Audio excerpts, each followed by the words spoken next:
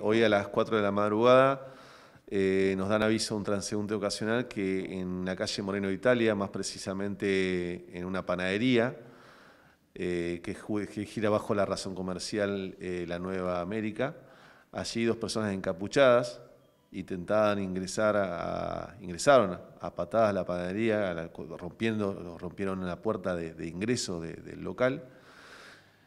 Inmediatamente al dar aviso del comando eléctrico a personal de la seccional primera de esta ciudad, llega al lugar y son inmediatamente aprendidos esta, pareja, porque era una pareja que estaba intentando sustraer la caja registradora del lugar.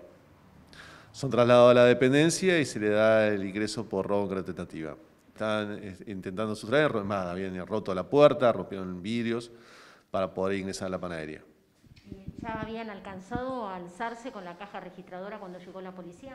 Sí, sí, efectivamente, porque la caja registradora fue encontrada ya afuera de la, de la, de la dependencia del local comercial. ¿Hay alarma ahí en el local?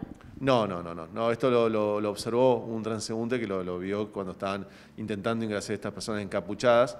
Eh, rompiendo la puerta de ingreso del local comercial. Ellos actuaron, actuaron por motu propio en esta situación, ellos mismos. Son personas mayores de edad, tienen antecedentes policiales de 32, 31 y 32 años de edad respectivamente.